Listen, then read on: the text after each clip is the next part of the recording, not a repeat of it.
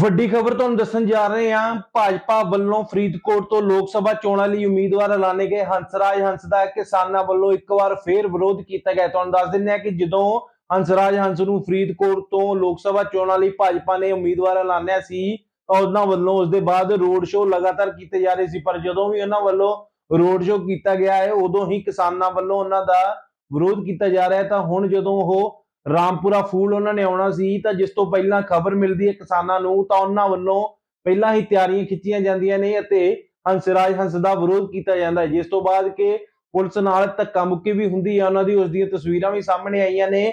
ਉੱਥੇ ਹੀ ਕਿਸਾਨਾਂ ਦਾ ਇਹ ਕਹਿਣਾ ਹੈ ਕਿ ਅਸੀਂ ਸਿਰਫ ਸਵਾਲ ਪੁੱਛਣੇ ਨੇ ਹੰਸਰਾਜ ਹੰਸ ਨੂੰ ਅਤੇ ਉਹਦੇ ਜਵਾਬ ਲੈਣੇ ਨੇ।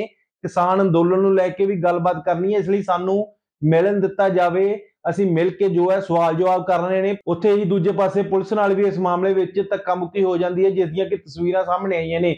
ਰਾਮਪੁਰਾ ਫੂਲ ਆਉਣਾ ਸੀ ਹੰਸਰਾਜ ਹੰਸ ਵੱਲੋਂ। ਤੁਹਾਨੂੰ ਦੱਸ ਦਿੰਦੇ ਆ ਕਿ ਲੋਕ ਸਭਾ ਚੋਣਾਂ ਲਈ ਉਮੀਦਵਾਰ ਐਲਾਨੇ ਗਏ ਨੇ ਭਾਜਪਾ ਵੱਲੋਂ ਹੰਸਰਾਜ ਹੰਸ ਜਿਸ ਤੋਂ ਬਾਅਦ ਲਗਾਤਾਰ ਜੋ ਕਿਸਾਨ ਕਿਸਾਨ ਅੰਦੋਲਨ ਨੂੰ ਲੈ ਕੇ ਜਾਂ ਆਪਣੀਆਂ ਹੱਕੀ ਮੰਗਾਂ ਨੂੰ ਲੈ ਕੇ ਜੋ ਹੈ ਲਗਾਤਾਰ ਭਾਜਪਾ ਦੇ ਆਗੂਆਂ ਦਾ ਵਿਰੋਧ ਕਰ ਰਹੇ ਨੇ। ਇਸ ਲਈ ਜੋ ਅੱਜ ਹੰਸਰਾਜ ਹੰਸ ਦਾ ਰਾਮਪੁਰਾ ਫੂਲ ਵਿਖੇ ਵਿਰੋਧ ਕੀਤਾ ਗਿਆ ਤੁਸੀਂ ਦੇਖ ਰਹੇ ਹੋ ਤਸਵੀਰਾਂ, ਤੁਹਾਨੂੰ ਮੌਕੇ ਦੀਆਂ ਤਸਵੀਰਾਂ ਦਿਖਾ ਰਹੇ ਹਾਂ। ਇੱਕ ਪਾਸੇ ਪੁਲਿਸ ਹੈ, ਦੂਜੇ ਪਾਸੇ ਕਿਸਾਨ ਨੇ ਅਤੇ ਉਹ ਉਡੀਕ ਕਰ ਰਹੇ ਸਨ। ਜਦੋਂ ਹੰਸਰਾਜ ਹੰਸ ਨੇ ਪਹੁੰਚਣਾ ਸੀ, ਤਾਂ ਉਹੀ ਇਹੀ ਅਪੀਲ ਕਰ ਰਹੇ ਨੇ ਕਿ ਇੱਕ ਵਾਰ ਸਾਨੂੰ ਮਿਲਣ ਦਿੱਤਾ ਜਾਵੇ।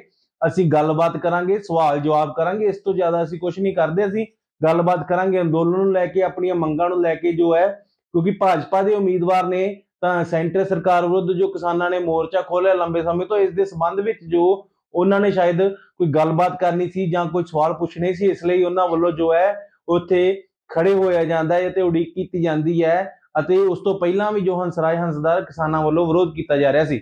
ਬੱਚਿਆਂ ਨੂੰ ਰੋਟੀ ਬਣਾਉਣੀ ਹੈ ਉਹ ਉੱਥੇ ਘਿਰੀਆਂ ਹੋਈਆਂ ਨੇ ਸਾਡੇ ਕੱਟ ਕਾਰਨ। ਤੁਹਾਡੇ ਨਾਕੇ ਕਾਰਨ। ਅਸੀਂ ਥਾਂ ਛੱਡਾਂਗੇ ਉਹਨਾਂ ਨੂੰ ਲੰਘਣ ਵਾਸਤੇ।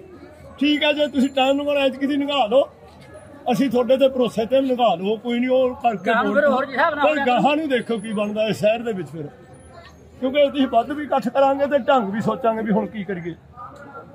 ਤੁਹਾਡੇ ਤੇ ਉਦੋਂ ਬਾਅਦ ਸਾਡਾ ਵਿਸ਼ਵਾਸ ਟੁੱਟ ਜੂ। ਐਸਐਚਓ ਸਾਹਿਬ ਇਹ ਤੁਸੀਂ ਹੁਣ ਸੋਚ ਲਓ। ਵਿਸ਼ਵਾਸ ਤਾਂ ਪਹਿਲਾਂ ਵੀ ਨਹੀਂ। ਬਠਿੰਡੇ ਚ ਗਏ ਉਹਲੇ ਪਾਸੇ ਬੈਠੇ ਨਾਲ ਹੀ ਸੀ। ਸੀ ਇਹ ਆਪਣੀ- ਕੀ ਕਰਤਾ ਉੱਥੇ ਸੀ ਆਪਦੇ ਆਪਦੇ ਅਹ, ਆਪਣਾ ਜਜ਼ਬਾਤ ਹੈ ਜਿਹੜੇ ਉਹ ਅਹ, ਆਪਣਾ ਦੱਸੇ। ਬੀ- ਬੀਬੀ ਵਾਲੇ ਚੌਂਕ 'ਚ ਖੜੇ ਰਹੇ ਆ ਕੋਈ ਗੱਲ ਹੀ ਨਹੀਂ। ਸਮਝੋ ਤੁਸੀਂ। ਤੁਸੀਂ ਸਾਡੇ ਆਪਦੇ ਹੋ। ਅਸੀਂ ਮੇਰਾ ਮੇਰਾ patience level- ਨਹੀਂ ਆਹ ਜਿਹੜਾ patience level ਆ, ਆਹ ਤੁਹਾਡਾ। ਤੁਸੀਂ ਗੁਲਾਮੀ ਚੋਂ। ਅਸੀਂ ਤੁਹਾਨੂੰ ਲਾਫਾ ਦੇ ਰਹੇ ਆ ਉਹਦਾ ਮੇਰੀ ਬੇਇੱਜ਼ਤੀ ਇਹ ਕਰੋ ਜਦ ਬੇਇੱਜ਼ਤੀ ਹੋਈ ਮੁੜ ਕੇ ਸਾਡੇ ਨਾਲ ਗੱਲ ਨਾ ਕਰਿਓ ਤੁਸੀਂ।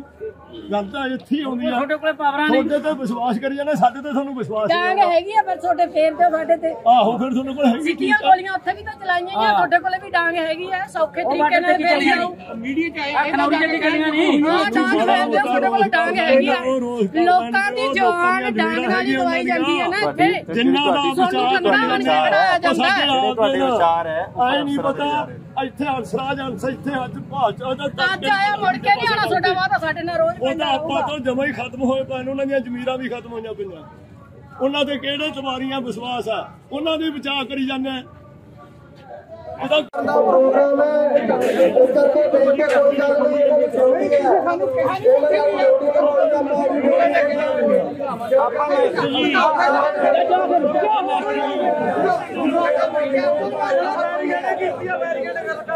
ਭਾਈ ਚੱਕ ਲਓ ਸਾਨੂੰ 我们有你看不见了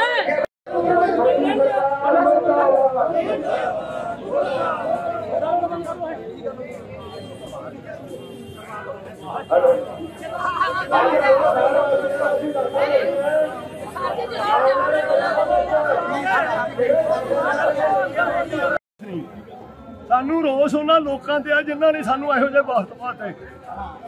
ਉਹ ਵੀ ਨਹੀਂ ਆਪਣੇ ਤੋਂ ਗੱਲ ਕਰਨ ਦੇ ਫਿਰ ਇੱਥੇ ਆਜ਼ਾਦੀ ਕਾਦੀ ਆ? ਵੀ ਉੱਥੇ ਬੈਠੋ ਖੁੰਝੇ ਜੋ ਉੱਥੇ ਚਾਰ ਸਤਰੇ ਚੱਕਰ ਆ। ਨਾਲੀਆਂ ਆ ਸਾਫ਼ ਜਗ੍ਹਾ ਸੀ। ਡਾਂਗ ਦਾ ਅਸੀਂ ਆ ਜ਼ੋਰ ਤੇ ਜਨਤਾ ਲੋਕਾਂ ਨੂੰ ਦਬਾਉਂਦੇ ਆ ਡਾਂਗ ਦਾ ਜ਼ੋਰ ਤੇ ਲੋਕਾਂ ਨੂੰ ਦਬਾਉਂਦੇ ਆ ਇਸ ਤੋਂ ਬਾਅਦ ਅਸੀਂ ਡਾਂਗ ਨਹੀਂ ਚੱਲਣੀ। ਸਰ ਜਿਹੜਾ ਕਿਸਾਨਾਂ ਵੱਲੋਂ ਕਿਹਾ ਜਾ ਰਿਹਾ ਵੀ ਇੱਥੇ ਲਾਠੀ ਚਾਰਜ ਹੋਇਆ ਕੀ ਮਾਮਲਾ ਸੀ ਪੂਰਾ ਜਿਹੜਾ ਹੈਗਾ ਸੀ? ਅ, ਅੱਜ ਇੱਥੇ ਜਿਹੜਾ ਹੈਗਾ ਇਸ ਪ੍ਰੋਗਰਾਮ ਦੇ ਵਿੱਚ ਜਿਹੜੀ ਲਾਅ ਐਂਡ ਆਰਡਰ ਸਿਚੁਏਸ਼ਨ ਨੂੰ ਦੇਖਦੇ ਹੋਏ ਸਾਡੇ ਵੱਲੋਂ ਫੋਰਸ ਡਿਪਲੋਏ ਕੀਤੀ ਗਈ ਹੈ। ਜਿਹੜੇ ਪ੍ਰੋਟੈਸਟ ਹੈਗੀ ਹੈ ਪੀਸਫੁਲ ਪ੍ਰੋਟੈਸਟ ਹਰੇਕ ਦਾ ਹੱਕ ਹੈਗਾ ਬਟ ਲਾਅ ਐਂਡ ਆਰਡਰ ਨੂੰ ਮੇਨਟੇਨ ਕਰਨ ਵਾਸਤੇ ਸਾਡੇ ਵੱਲੋਂ ਫੋਰਸ ਡਿਪਲੋਇਮੈਂਟ ਕੀਤੀ ਗਈ ਬਟ ਤੁਸੀਂ ਵੀ ਉੱਥੇ ਮੌਕੇ ਤੇ ਹੀ ਹੋ। ਐਂਡ ਤੁਸੀਂ ਵੀ ਇਸ ਚੀਜ਼ ਦੇ ਗਵਾਹ ਹੋ ਕਿ ਪੁਲਿਸ ਵੱਲੋਂ ਜਿਹੜੀ ਹੈਗੀ, ਕੋਈ ਵੀ ਜਿਹੜੀ ਹੈਗੀ ਫੋਰਸ ਯੂਜ਼ ਨਹੀਂ ਕੀਤੀ